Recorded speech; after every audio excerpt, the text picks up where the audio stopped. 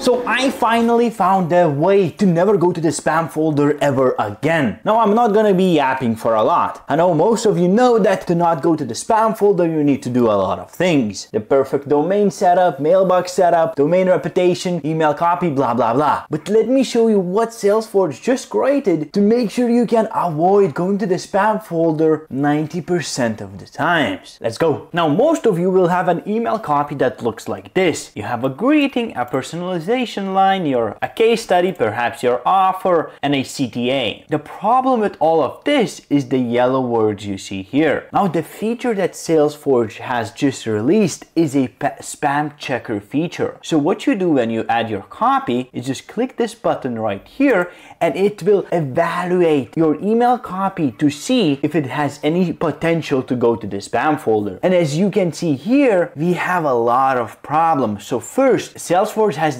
detected a lot of commonly used spam words. Basically, spam words used by other people, basically spam words used by phishing emails, scamming emails, all of that stuff that bad guys do, right? So, and if you use the same words, you have a high chance of going to the spam folder. So, this is the first step you need to fix. You need to fix the spam words, basically replacing anything that's highlighted with a synonym. Uh, then another thing you should also do is add spin tags. Spin tags is basically an alternative word that the email sending software will use. So for example, instead of saying hi, you could say hi, hello, hey, you know, and this way, instead of saying just hi every single email, the email sending software will randomize which word it will use. So once it could be hi first name, then hello hey, first name, right? And this way, once you do it across the whole email, the each email you send will look unique to the email service provider that you're reaching out to. So for example, Gmail, Outlook, like whatever, right? So you want to spin tags at least 50% of your whole copy. You'll also notice that it's tracking links, images, and emojis. So basically, links and images are kind of like attachments to your email, right? And any if you attach anything, that will hurt your deliverability and can result in you going to the spam folder. So you want to eliminate any links, any images, and basically send email as plain text only. There's an option in settings to do that. As you can see, it's also recommended here. And lastly, what you have is word count. So if you're sending out paragraphs, they, they not only have a higher chance of going to spam folder, they also won't get read because no one reads paragraphs, right? Basically, this will help you understand what word range your email copy should be in, right? So basically that. Now let me go ahead and quickly edit edit this email to show you how it should actually look like.